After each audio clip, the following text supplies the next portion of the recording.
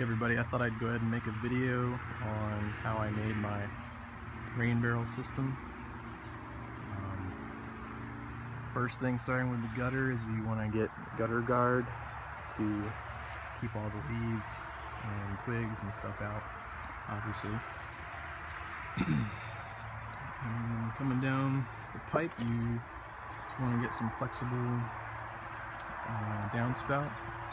What I did was actually cut the downspout here and put this end onto the barrel. That's what this is right here.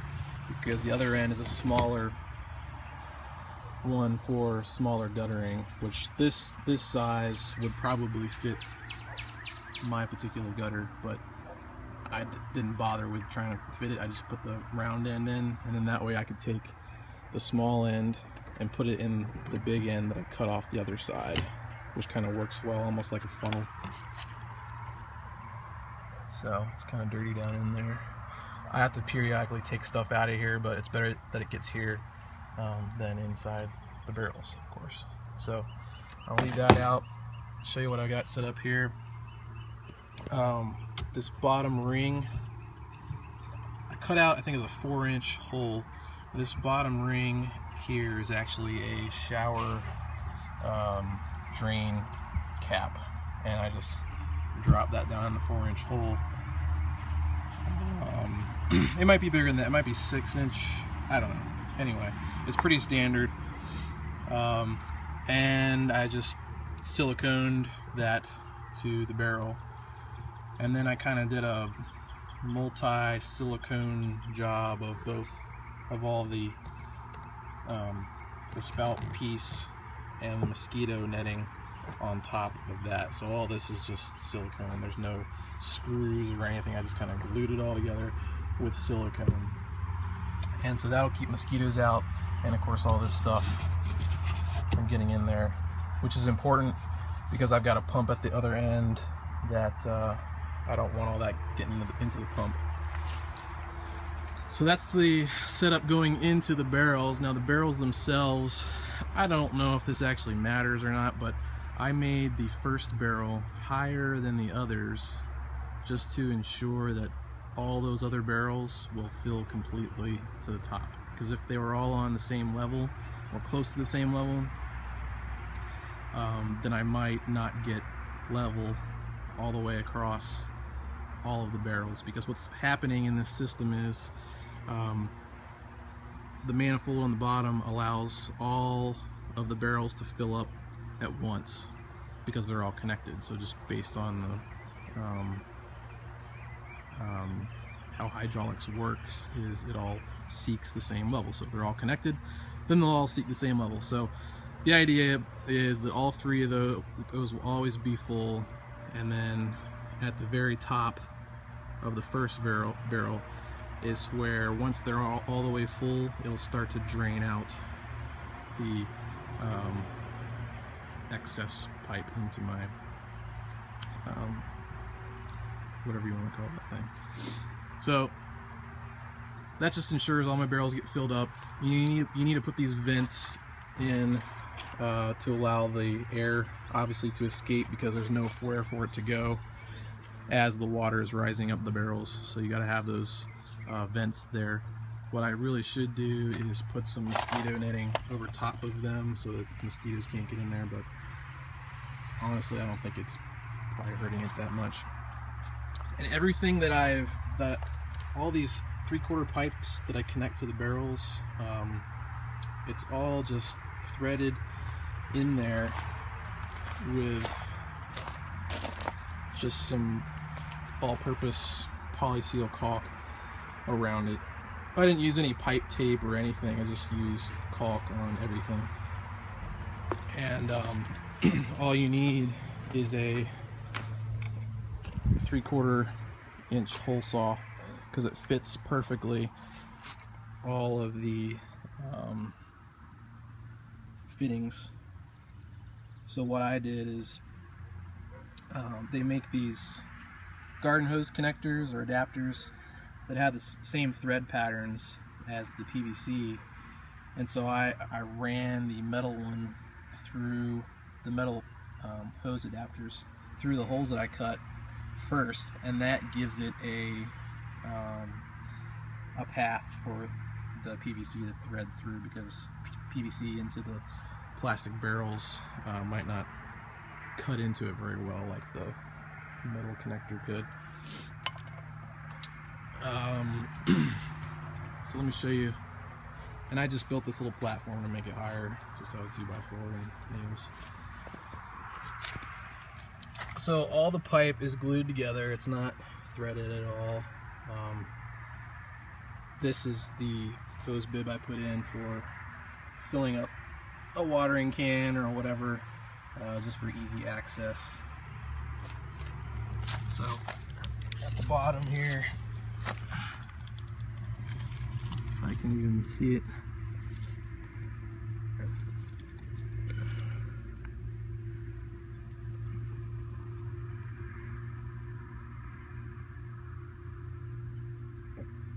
So I've got glue going into, I really should be using a different barrel. Hold on a second.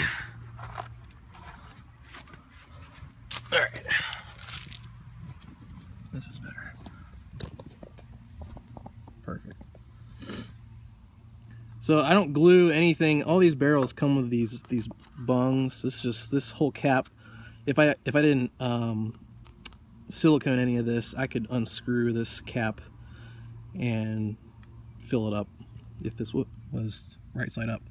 But it's perfect for what we need here because you can just drill that three quarter hole saw through the this cap here and um, silicone the cap into place and then silicone the um, adapter in there that you thread in there. So this piece is, it's threaded on this end and glue on this end.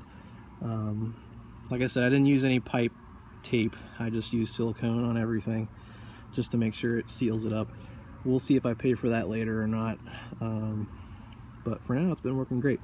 So everything else is glued, uh, all my joints, but every, everything connected to the barrel um, is silicone and threaded. So that's how each connection works.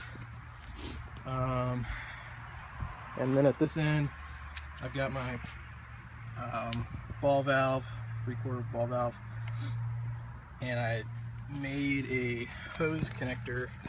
Um, this piece right here is just a male to male um, connector.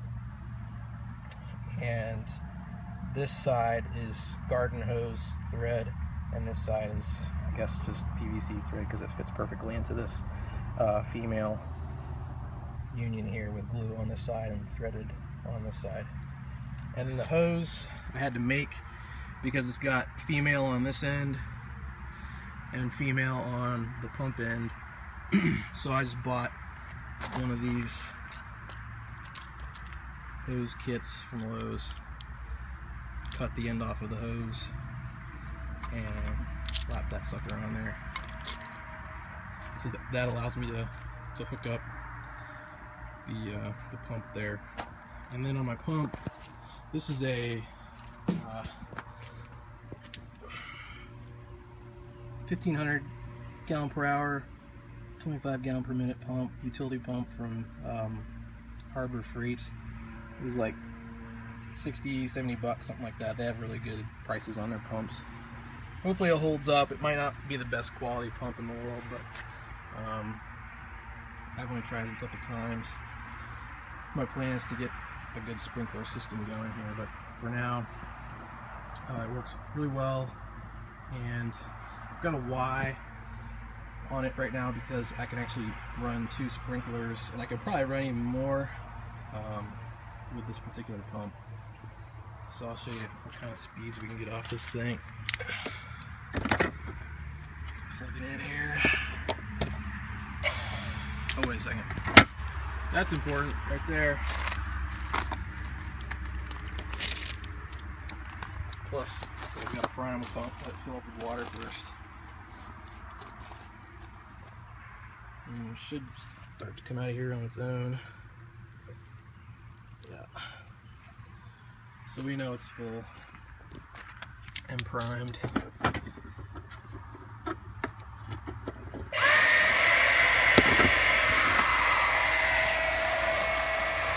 I got some leakage, but it's not that big of a deal. Doesn't need to be perfect.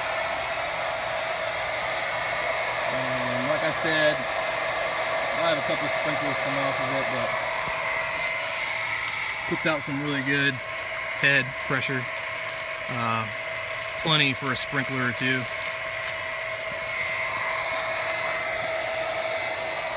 So that's pretty much my setup. Um, trying to think if there's anything else to mention. Can't think of anything.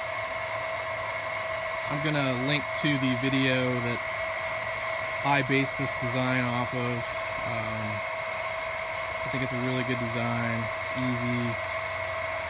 Biggest thing is trying to find the barrels. I work um, at a place that has a lot of these, and I was able to just bring them home, which was great. But, um, yeah, I'm pretty excited about this system.